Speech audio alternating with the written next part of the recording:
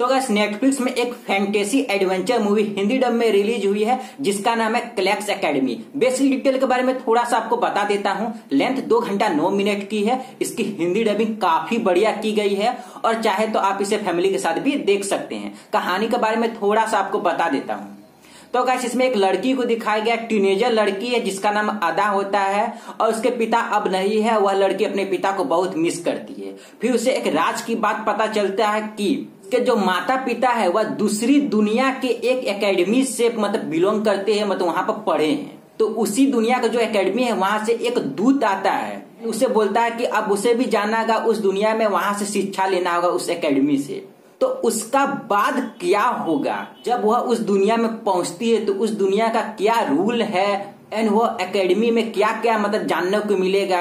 और जो उस एकेडमी में एक बहुत बड़ा संकट आने वाला है तो वह जो खतरनाक संकट है, वह क्या है? यह सब जानने के लिए तो आपको ये फ़िल्म को देखना पड़ता है। तो गाइस फ़िल्म बहुत ही बिलो एवरेज है और बहुत ही ज़्यादा बोरिंग एंड स्लो है। जी हाँ फ़िल्म मतलब मैं क्या बोलू? दिमाग खराब कर देता है, इतना बोरिंग फ़िल्म है। एकदम आप फैंटेसी एडवेंचर सुने होंगे तो आप सोच रहे होंगे कि बड़ा बड़ा ना जादुई टाइप का आपको देखने को मिलेगा तो कुछ भी फाइट सिक्वेंस सब देखने को नहीं है एक्शन वैक्शन नहीं है, सिर्फ़ कन्वर्सेशन को दिखाया गया है मतलब बातचीत को दिखाया गया है, जो कि आपको बहुत ज़्यादा बोर करती है। और जिस तरह से मेकर्स ने इस फ़िल्म को प्रेजेंट किया है, वह तो अच्छा है। पर जिस तरह से इसका स्टोरी टेलिंग है, उसका बाद जिस तरह से इसका स्क्रीन प्ले है, वह बोलूँगा कि एकदम बिलो एवरेज है बोर कर देता है। परफॉर्मेंस की बात करूँ तो देखिए, सभी ने अच्छी परफॉर्मेंस दी है। प्रोडक्शन क्वालिटी की बात करूँ तो देखिए, इसका प्रोडक्शन क्वालिटी बहुत बहुत बहुत बहुत बेहतरीन है।